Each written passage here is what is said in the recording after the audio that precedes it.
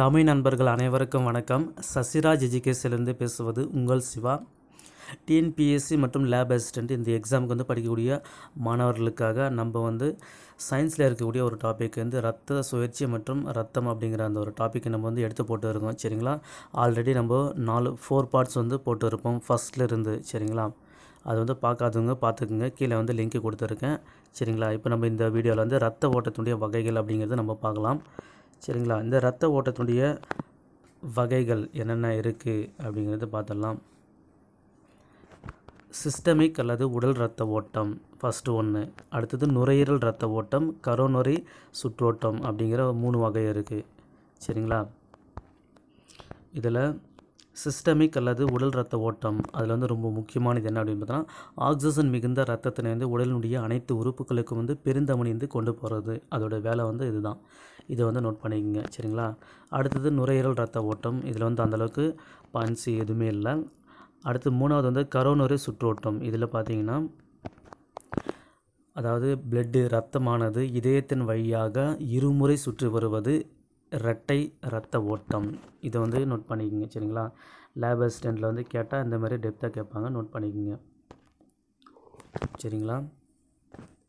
அடுத்தது பாருங்கள் சில விலங்கினங்களில் ஆக்சிஜன் மிகுந்த ரத்தமும் ஆக்சிஜன் குறைந்த ரத்தமும் ஒன்றுடன் கலந்து இதயத்தினுள்ளேருந்து ஒரு முறை வந்து மட்டுமே சுற்றி வரும். அதுக்கு பேர் வந்து ஒற்றை இரத்த ஓட்டம். சரிங்களா? ஒற்றை ரத்த ஓட்டம் இரட்டை ரத்த ஓட்டம் இந்த ரெண்டுமே வந்து நோட் பண்ணிக்கோங்க. சரிங்களா? அது கேட்பாங்க. இந்த ஒற்றை ரத்த ஓட்டம் அப்படிங்கிறதுக்கான இது எக்ஸாம்பிள் என்னென்ன அப்படின்னா மீன்கள் இருவாழ்விகள் மற்றும் ஊர்வனை. இது எல்லாமே வந்து ஒற்றை ரத்த ஓட்டத்தை சேர்ந்த அந்த வகைகள். சரிங்களா? நோட் பண்ணிக்கோங்க. நம்ம இதய துடிப்பு அப்படிங்கிறது சுருங்கிய நிலைக்கு என்ன பேர் அப்படின்னு பார்த்தோன்னா சிஸ்டோல். சரிங்களா?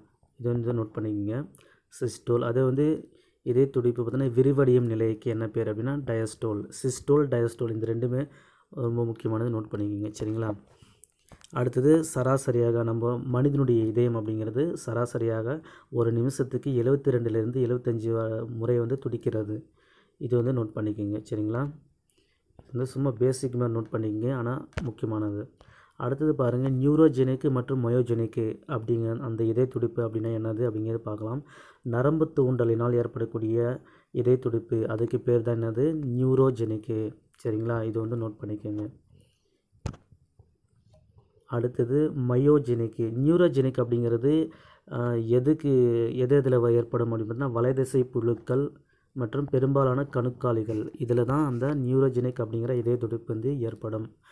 சரிங்களா? அடுத்தது மயோஜெனிக். மயோஜெனிக் அப்படிங்கிற அந்த ஒரு இதய துடிப்பு அப்படிங்கிறது எதனால் ஏற்படும்னா இதய தசை நார்களால் ஏற்படக்கூடியது மயோஜெனிக்கு இந்த மயோஜெனிக் வகையை சார்ந்தது தான் நம்ம இதயம் துடிக்கிறது. நம்ம இது இதயம் துடிக்கிறது வந்து மயோஜெனிக்கா இல்லை நியூரோஜெனிக்கா அப்படின்னு கொஸ்டின் கேட்டாங்கன்னா மயோஜெனிக் தான். சரிங்களா? கீழே வந்து கொஸ்டின் ஆப்ஷன்ஸ் வந்து கொடுத்துருப்பாங்க பாருங்கள் மெல்லுடலைகள் முதுகெலும்புகள். முதுகெலும்புனானது நம்ம மனுஷன் மனுஷனாக இருக்கக்கூடிய நம்மளை வந்து முதுகெலும்பு அந்த வகையை சார்ந்தவங்க தான். சரிங்களா?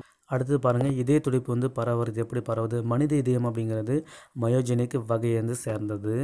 ஓகே இதய தசையில் வந்து காணப்படக்கூடிய சிறப்பு பகுதியான சைனோ ஏற்றியல் கணு.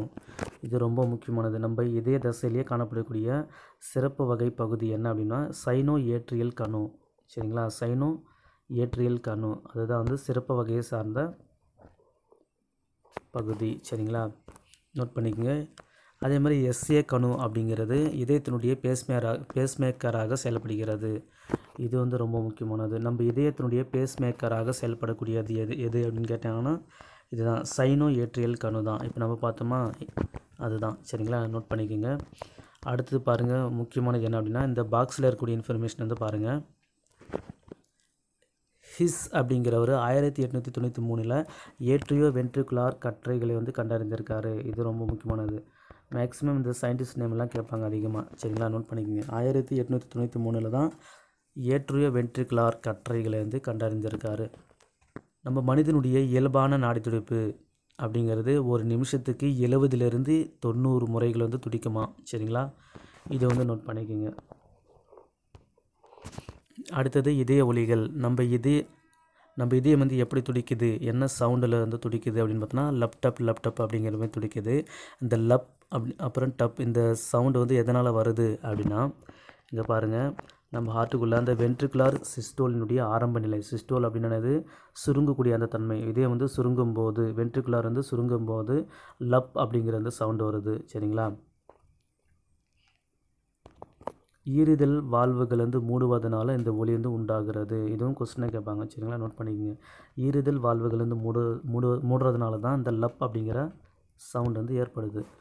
சரிங்களா? அடுத்தது இந்த டப் அப்படிங்கிற சவுண்டு எதனால் வருது அப்படின்னா அரைச்சந்திர வால்வுகள் வந்து மூடுறதுனால இந்த டப் அப்படிங்கிற சவுண்டு வருது.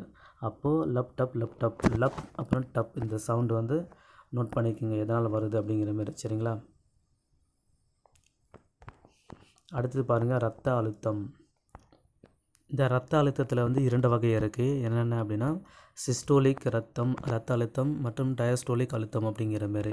இதில் வந்து முக்கியமானது பார்த்தீங்கன்னா டயஸ்டோலிக் அப்படிங்கிற அந்த இதில் அந்த பிளட் ப்ரெஷர் வந்து கொடுத்துருக்காங்க. நம்ம மனிதனுடைய பிளட் பிளட் ப்ரெஷர் அப்படிங்கிறது எவ்வளோ இருக்கணும் அப்படின்னா நூற்றி இருபது எம்எம்ஏஹெச்ஜிலேருந்து எண்பது எம்எம் ஹெச்ஜி வரைக்கும். சரிங்களா? இது வந்து கொஸ்டின்ஸ் ஆப்ஷன்ஸ் வந்து மாற்றி கொடுப்பாங்க. நோட் பண்ணிக்கோங்க. எண்பது எம்எம் ஹெச்ஜிலேருந்து நூற்றி இருபது எம்எம் அப்படிங்கிற மாதிரி கொடுப்பாங்க. சரிங்களா? இது வந்து நூற்றி இருபதுலேருந்து எண்பது வரைக்கும். சரிங்களா? இது நோட் பண்ணிக்கங்க. அடுத்தது ஹைப்பர் டென்ஷன் ஹைப்போ டென்ஷன் அப்படிங்கிறது இது ரெண்டு வகையாக இருக்குது உயர் ரத்த அழுத்தம் ஹைப்போ டென்ஷன் குறை ரத்த அழுத்தம் அப்படிங்கிற மாதிரி. சரிங்களா? ரத்த அழுத்தம் வந்து அதிகமாக இருக்கா கம்மியாக இருக்கா அப்படின்னு சொல்லிட்டு செக் பண்ணக்கூடிய அந்த கருவி பேர் ஸ்பிக்மோ மானோமீட்டர் அப்படிங்கிறது. சரிங்களா? இது நோட் பண்ணிக்கோங்க.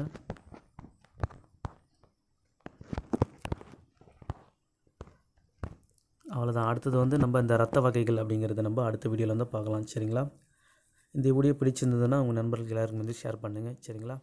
நன்றி வணக்கம்.